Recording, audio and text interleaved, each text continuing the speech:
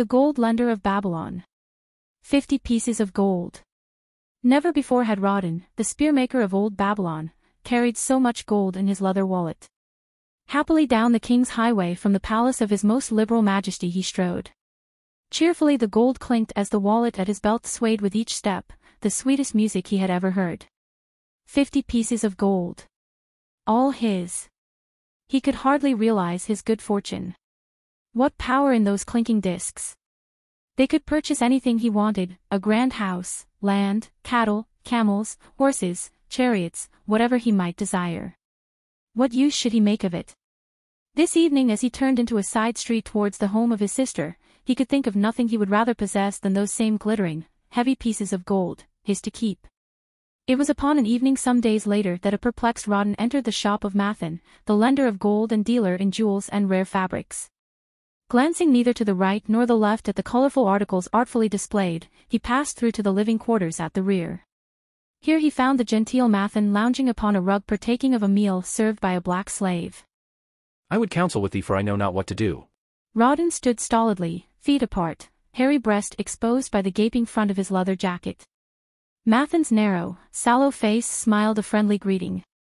What indiscretions hast thou done that thou shouldst seek the lender of gold? Hast been unlucky at the gaming table? Or hath some plump dame entangled thee? For many years have I known thee, yet never hast thou sought me to aid thee in thy troubles. No, no, not such as that. I need no gold. Instead I crave thy wise advice. Hear. Hear. What this man doth say. No one comes to the lender of gold for advice. My ears must play me false. They listen true. Can this be so? Rodan, the spearmaker, doth display more cunning than all the rest, for he comes to Mathon, not for gold, but for advice. Many men come to me for gold to pay for their follies, but as for advice, they want it not. Yet who is more able to advise than the lender of gold to whom many men come in trouble? Thou shalt eat with me, Rodan, thou shalt be my guest for the evening. And all. Draw up a rag for my friend, Rodan, the spearmaker, who comes for advice. He shall be mine honored guest. Bring to him much food and get for him my largest cup. Choose well of the best wine that he may have satisfaction in the drinking. Now, tell me what troubles thee. It is the king's gift. The king's gift? The king did make thee a gift and it gives thee trouble? What manner of gift? Because he was much pleased with the design I did submit to him for a new point on the spears of the royal guard, he did present me with fifty pieces of gold, and now I am much perplexed. I am beseeched each hour the sun doth travel across the sky by those who would share it with me. That is natural. More men want gold than have it, and would wish one who comes by it easily to divide. But can you not say, no? Is thy will not as strong as thy fist? To many I can say no, yet sometimes it would be easier to say yes. Can one refuse to share with one sister to whom he is deeply devoted? Surely, thy own sister would not wish to deprive thee of enjoying thy reward but it is for the sake of Araman, her husband, whom she wishes to see a rich merchant. She does feel that he has never had a chance and she beseeches me to loan to him this gold that he may become a prosperous merchant and repay me from his profits. My friend, tis a worthy subject thou bringest to discuss. Gold bringeth unto its possessor responsibility and a changed position with his fellow men. It bringeth fear lest he lose it or it be tricked away from him. It bringeth a feeling of power and ability to do good.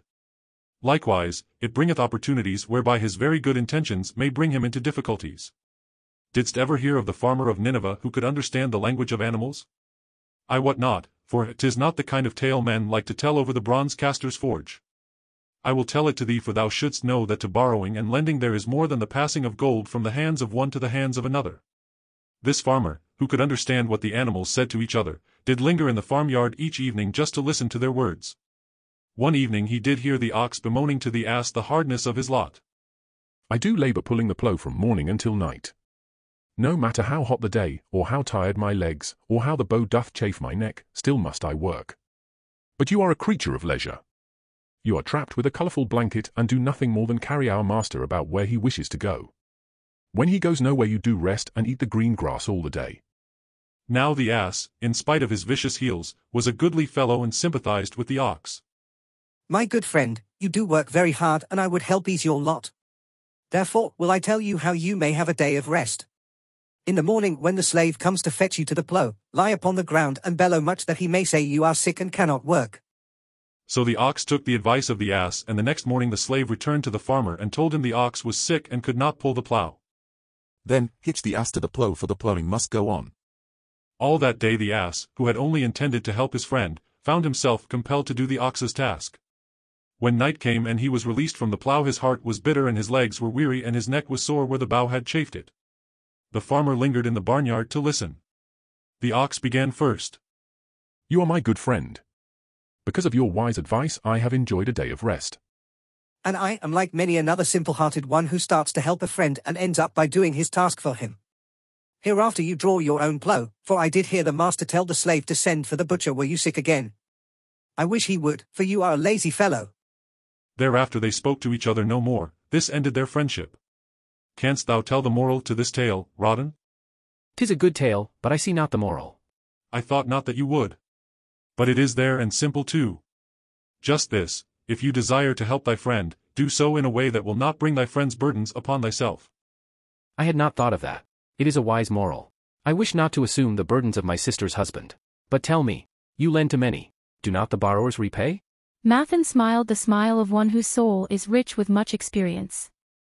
Could a loan be well made if the borrower cannot repay? Must not the lender be wise and judge carefully whether his gold can perform a useful purpose to the borrower and return to him once more, or whether it will be wasted by one unable to use it wisely and leave him without his treasure, and leave the borrower with a debt he cannot repay? I will show to thee the tokens in my token chest and let them tell thee some of their stories. Into the room he brought a chest as long as his arm covered with red pigskin and ornamented with bronze designs. He placed it upon the floor and squatted before it, both hands upon the lid. From each person to whom I lend, I do exact a token from my token chest, to remain there until the loan is repaid. When they repay I give back, but if they never repay it will always remind me of one who was not faithful to my confidence. The safest loans, my token box tells me, are to those whose possessions are of more value than the one they desire. They own lands, or jewels, or camels, or other things which could be sold to repay the loan. Some of the tokens given to me are jewels of more value than the loan. Others are promises that if the loan be not repaid as agreed they will deliver to me certain property settlement. On loans like those I am assured that my gold will be returned with the rental thereon, for the loan is based on property. In another class are those who have the capacity to earn. They are such as you, who labor or serve and are paid. They have income and if they are honest and suffer no misfortune, I know that they also can repay the gold I loan them and the rental to which I am entitled. Such loans are based on human effort. Others are those who have neither property nor assured earning capacity. Life is hard and there will always be some who cannot adjust themselves to it. Alas for the loans I make them, even though they be no larger than a pence, my token box may censure me in the years to come unless they be guaranteed by good friends of the borrower who know him honorable. Mathon released the clasp and opened the lid. Rodan leaned forward eagerly. At the top of the chest a bronze neck piece lay upon a scarlet cloth. Mathon picked up the piece and patted it affectionately. This shall always remain in my token chest because the owner has passed on into the great darkness. I treasure it, his token, and I treasure his memory, for he was my good friend. We traded together with much success until out of the east he brought a woman to wed, beautiful, but not like our women. A dazzling creature. He spent his gold lavishly to gratify her desires. He came to me in distress when his gold was gone. I counseled with him. I told him I would help him to once more master his own affairs. He swore by the sign of the great bull that he would. But it was not to be. In a quarrel she thrust a knife into the heart he dared her to pierce. And she? Yes, of course, this was hers. He picked up the scarlet cloth. In bitter remorse she threw herself into the Euphrates. These two loans will never be repaid. The chest tells you, Rodan, that humans in the throes of great emotions are not safe risks for the gold lender. Here. Now this is different. He reached for a ring carved of ox bone. This belongs to a farmer. I buy the rugs of his women. The locusts came and they had not food. I helped him and when the new crop came he repaid me. Later he came again and told of strange goats in a distant land as described by a traveler. They had long hair so fine and soft it would weave into rugs more beautiful than any ever seen in Babylon. He wanted a herd but he had no money. So I did lend him gold to make the journey and bring back goats.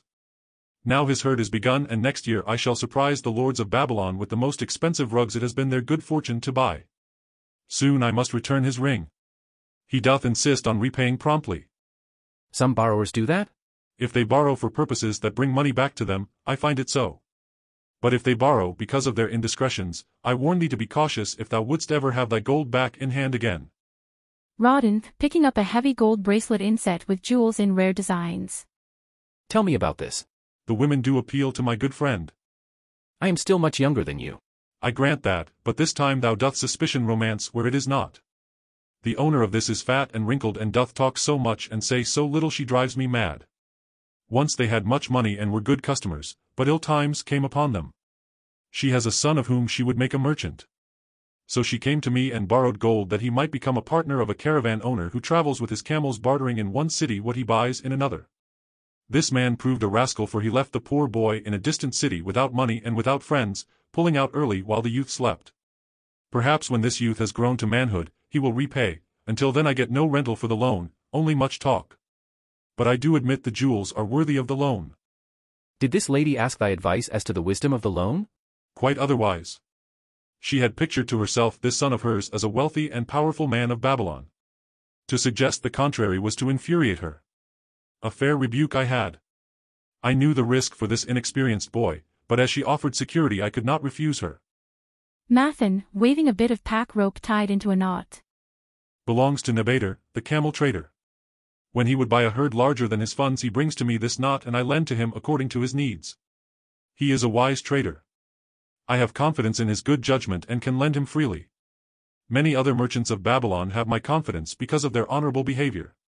Their tokens come and go frequently in my token box. Good merchants are an asset to our city and it profits me to aid them to keep trade moving that Babylon be prosperous. Mathon picked out a beetle carved in turquoise and tossed it contemptuously on the floor. A bug from Egypt. The lad who owns this does not care whether I ever receive back my gold. When I reproach him he replies, how can I repay when ill fate pursues me? You have plenty more. What can I do? The token is his father's, a worthy man of small means who did pledge his land and herd to back his son's enterprises. The youth found success at first and then was overzealous to gain great wealth. His knowledge was immature. His enterprises collapsed. Youth is ambitious. Youth would take shortcuts to wealth and the desirable things for which it stands. To secure wealth quickly youth often borrows unwisely. Youth, never having had experience, cannot realize that hopeless debt is like a deep pit into which one may descend quickly and where one may struggle vainly for many days. It is a pit of sorrow and regrets where the brightness of the sun is overcast and night is made unhappy by restless sleeping. Yet, I do not discourage borrowing gold. I encourage it. I recommend it if it be for a wise purpose. I myself made my first real success as a merchant with borrowed gold. Yet, what should the lender do in such a case? The youth is in despair and accomplishes nothing. He is discouraged. He makes no effort to repay. My heart turns against depriving the father of his land and cattle. You tell me much that I am interested to hear, but I hear no answer to my question. Should I lend my fifty pieces of gold to my sister's husband? They mean much to me. Thy sister is a sterling woman whom I do much esteem. Should her husband come to me and ask to borrow fifty pieces of gold I should ask him for what purpose he would use it if he answered that he desired to become a merchant like myself and deal in jewels and rich furnishings. I would say, What knowledge have you of the ways of trade? Do you know where you can buy at lowest cost? Do you know where you can sell at a fair price? Could he say, yes, to these questions?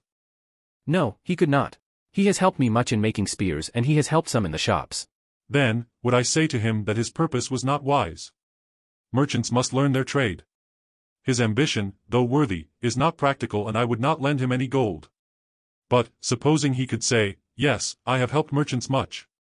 I know how to travel to Smyrna and to buy at low cost the rugs the housewives weave. I also know many of the rich people of Babylon to whom I can sell these at a large profit. Then I would say, Your purpose is wise and your ambition honorable. I shall be glad to lend you the fifty pieces of gold if you can give me security that they will be returned. But would he say, I have no security other than that I am an honored man and will pay you well for the loan. Then would I reply, I treasure much each piece of gold. Were the robbers to take it from you as you journeyed to Smyrna or take the rugs from you as you returned, then you would have no means of repaying me and my gold would be gone. Gold, you see, Rodan, is the merchandise of the lender of money. It is easy to lend. If it is lent unwisely then it is difficult to get back. The wise lender wishes not the risk of the undertaking but the guarantee of safe repayment. Tis well, to assist those that are in trouble, tis well to help those upon whom fate has laid a heavy hand. 'Tis well to help those who are starting that they may progress and become valuable citizens. But help must be given wisely, lest, like the farmer's ass, in our desire to help we but take upon ourselves the burden that belongs to another. Again I wandered from thy question, Rodan, but hear my answer, keep thy fifty pieces of gold. What thy labor earns for thee and what is given thee for reward is thine own and no man can put an obligation upon thee to part with it unless it do be thy wish. If thee wouldst lend it so that it may earn thee more gold, then lend with caution and in many places. I like not idle gold, even less I like too much of risk. How many years hast thou labored as a spearmaker? Fully three. How much besides the king's gift hast saved? Three gold pieces. Each year that thou hast labored thou hast denied thyself good things to save from thine earnings one piece of gold? Tis as you say. Then mightest save in fifty years of labor fifty pieces of gold by thy self-denial? A lifetime of labor it would be. Thinkest thou thy sister would wish to jeopardize the savings of fifty years of labor over the bronze melting pot that her husband might experiment on being a merchant? Not if I spoke in your words. Then go to her and say, Three years I have labored each day except fast days, from morning until night, and I have denied myself many things that my heart craved. For each year of labor and self-denial I have to show one piece of gold. Thou art my favored sister and I wish that thy husband may engage in business in which he will prosper greatly. If he will submit to me a plan that seems wise and possible to my friend, Mathon, then will I gladly lend to him my savings of an entire year that he may have an opportunity to prove that he can succeed. Do that, I say, and if he has within him the soul to succeed he can prove it. If he fails he will not owe thee more than he can hope some day to repay. I am a gold lender because I own more gold than I can use in my own trade. I desire my surplus gold to labor for others and thereby earn more gold. I do not wish to take risk of losing my gold for I have labored much and denied myself much to secure it. Therefore, I will no longer lend any of it where I am not confident that it is safe and will be returned to me. Neither will I lend it where I am not convinced that its earnings will be promptly paid to me. I have told to thee, Rodan, a few of the secrets of my token chest. From them you may understand the weakness of men and their eagerness to borrow that which they have no certain means to repay. From this you can see how often their high hopes of the great earnings they could make, if they but had gold, are but false hopes they have not the ability or training to fulfill. Thou, Rodan, now have gold which thou shouldst put to earning more gold for thee. Thou art about to become even as I, a gold lender. If thou dost safely preserve thy treasure it will produce liberal earnings for thee and be a rich source of pleasure and profit during all thy days. But if thou dost let it escape from thee, it will be a source of constant sorrow and regret as long as thy memory doth last. What desirest thou most of this gold in thy wallet? To keep it safe. Wisely spoken, thy first desire is for safety. Thinkest thou that in the custody of thy sister's husband it would be truly safe from possible loss? I fear not, for he is not wise in guarding gold.